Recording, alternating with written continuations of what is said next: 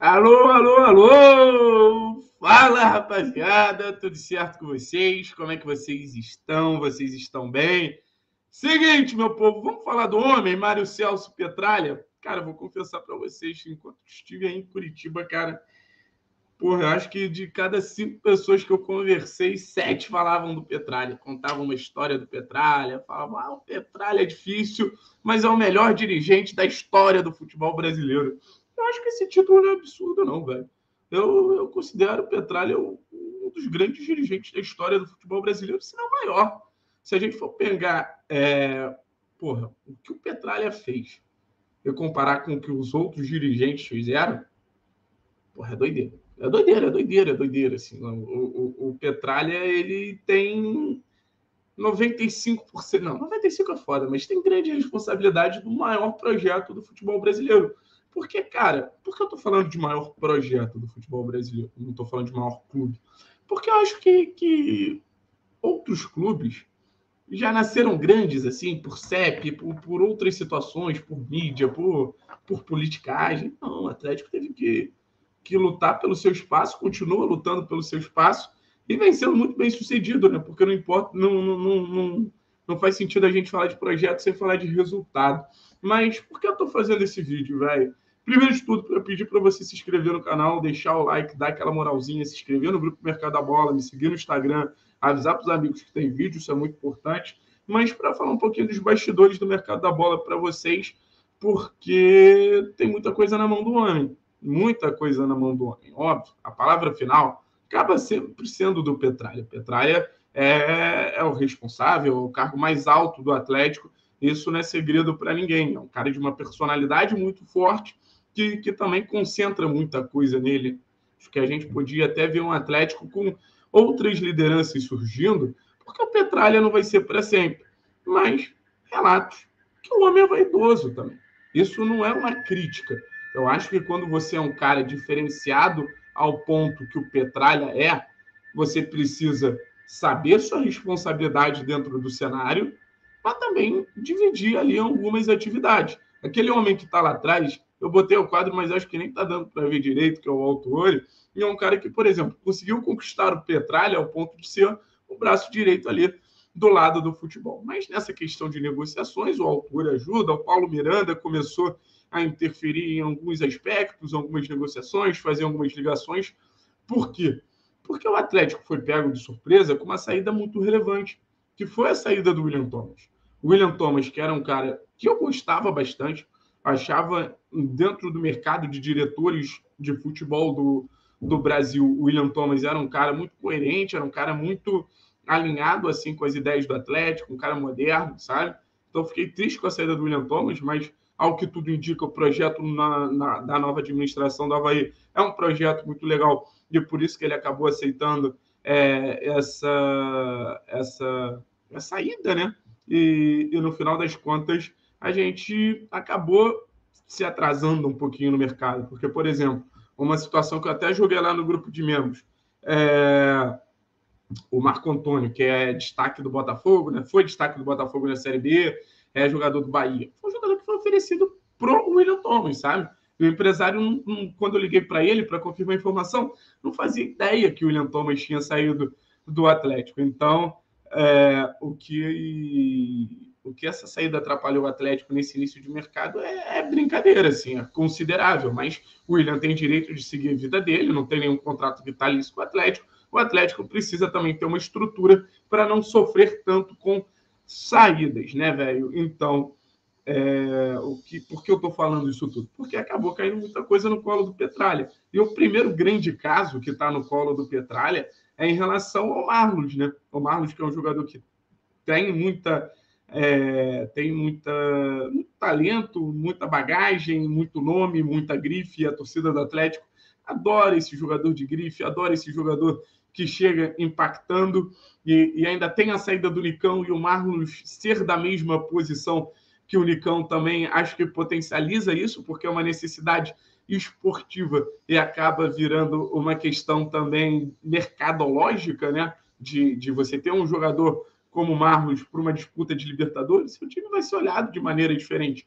putz, cara, esse cara estava na Europa até outro dia jogando contra Manchester United, Inter, Inter de Milão e tudo mais. O que eu consegui apurar do caso Marcos? O jogador que tem interesse de jogar no Atlético, ele considera, ele considera, não é uma parada, estou louco para jogar no Atlético, aceito qualquer 10 reais. Ele precisa ver o projeto, e, e, e o Petralha está tentando passar esse projeto para ele de todas as formas possíveis, sabe? Então, as movimentações no, do mercado do Atlético também são um, um, um recado para os jogadores com que o Atlético está negociando. Putz, preciso montar um time forte para esses caras também terem vontade de jogar no Atlético, sabe? Então, o Marlos também tem que se adaptar a uma realidade financeira muito distinta do que ele está acostumado e do que oferecem para ele quase que diariamente.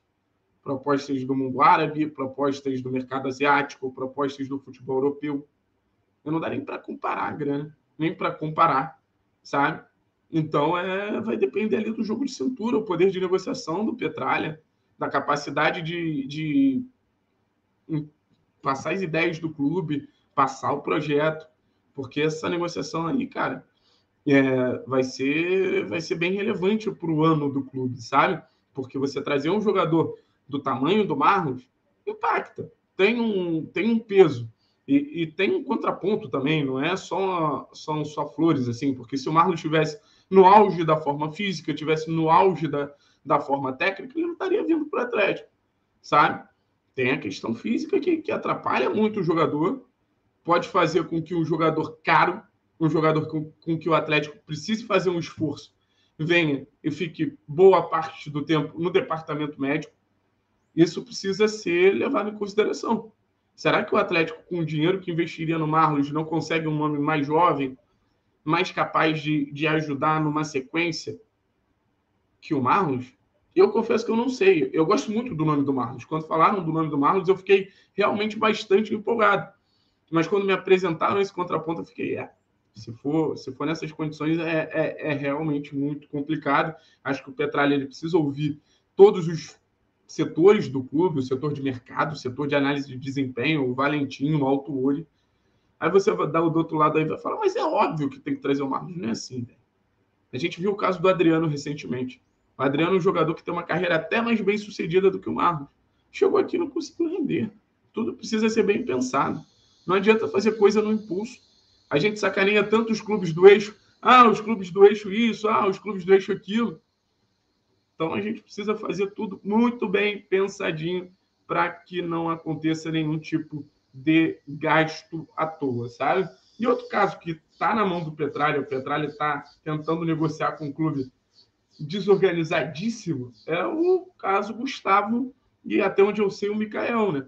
São dois jogadores que, que o Petralha gosta bastante, dois jogadores que, que chamaram a atenção do clube até pela capacidade e possibilidade de revenda, e são dois jogadores que o Atlético está tentando negociar, mas o esporte, até onde eu falei com o empresário do Gustavo, falou que o esporte ainda não respondeu ao Atlético. Então ela é uma situação até um pouco constrangedora, porque é um Atlético querendo negociar, um Atlético disposto a pagar um bom valor por dois jogadores que, que naturalmente seriam muito potencializados no Atlético, sabe? Dois jogadores, por exemplo, com um perfil muito diferente do Marlos, então, para ver como o Atlético também tem, tem uma visão equilibrada no mercado da bola, mas são jogadores assim que, que precisa passar dessa barreira de fazer com que o jogador queira vir para o Atlético, porque são dois jogadores que têm muitas propostas do futebol é, brasileiro, do futebol de fora. O, o metalista da Ucrânia, por exemplo, já fez uma proposta pelo Gustavo, então o Atlético também